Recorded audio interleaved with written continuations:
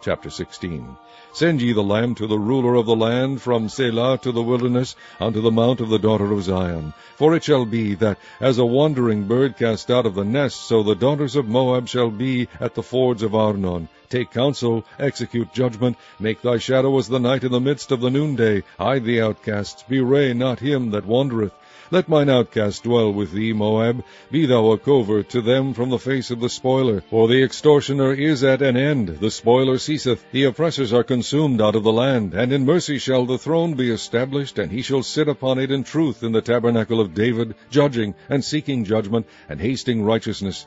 We have heard of the pride of Moab. He is very proud, even of his haughtiness, and his pride, and his wrath but his lies shall not be so.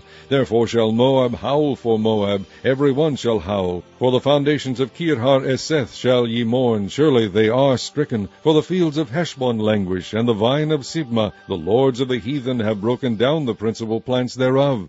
They are come even unto Jazer, they wandered through the wilderness. Her branches are stretched out, they are gone over the sea.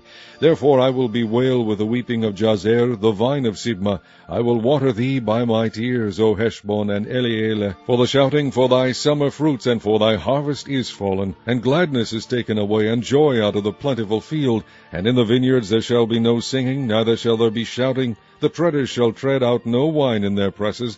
I have made their vintage shouting to cease. Wherefore my bowels shall sound like an harp for Moab, and mine inward parts of Kirharesh. And it shall come to pass, when it is seen that Moab is weary on the high place, that he shall come to his sanctuary to pray, but he shall not prevail. This is the word that the Lord has spoken concerning Moab since that time.